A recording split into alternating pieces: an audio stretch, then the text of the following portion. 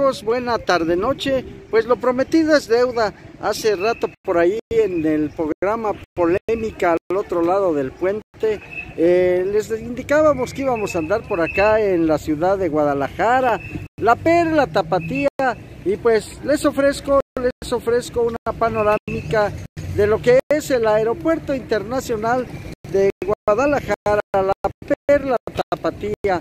Y pues déjenme decirles que pues hay, hay muchísimo movimiento de personas, muchísimo movimiento de turistas.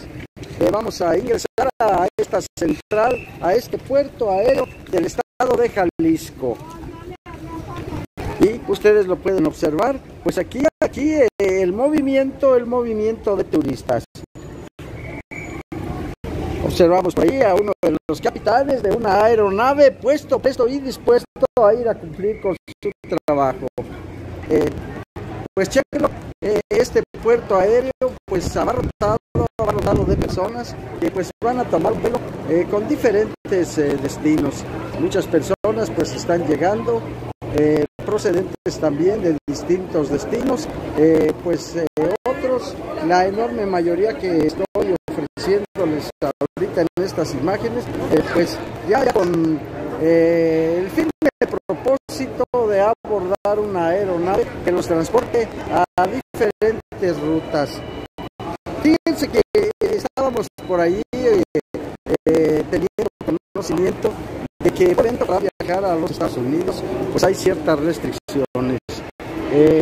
se hablaba por ahí hasta el 21 de agosto, pero esto es vía terrestre. los vuelos de eh, naves aéreas eh, están, están trabajando, están eh, pues ofreciendo el servicio.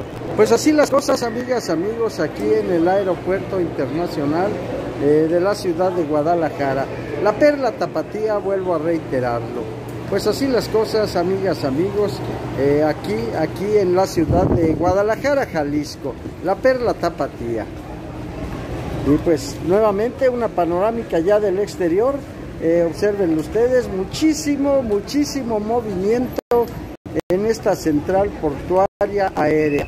Guadalajara, Jalisco, la perla tapatía.